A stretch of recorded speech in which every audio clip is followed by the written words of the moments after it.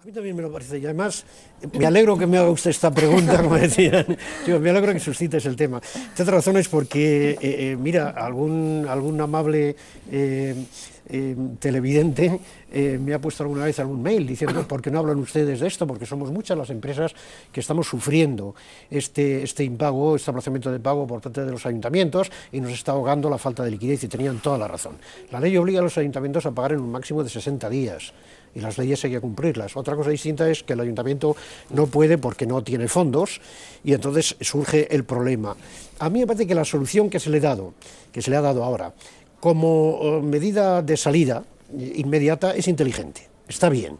Eh, bueno, pues es avalar a los, eh, a los empresarios que tienen esas deudas pendientes de cobro de los ayuntamientos para que puedan descontar eh, los,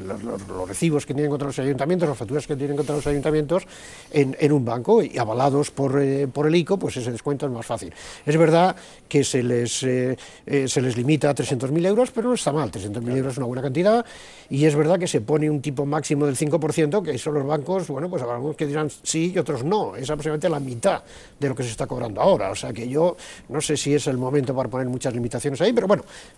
tampoco está mal, no. Yo, yo creo que, que esto está bien y además, eh, bueno, resuelve los problemas. Lo que pasa es que en el fondo de esto subyace otro tema más serio, que es la financiación de las corporaciones locales con un sistema que teníamos en España, que veníamos desde hace tiempo diciendo que hay que cambiarlo, que estaba basado exclusivamente, no exclusivamente, pero mayoritariamente en la especulación del suelo, los ayuntamientos especulando con su propio suelo. Así es como han vivido y así es como les hemos dejado vivir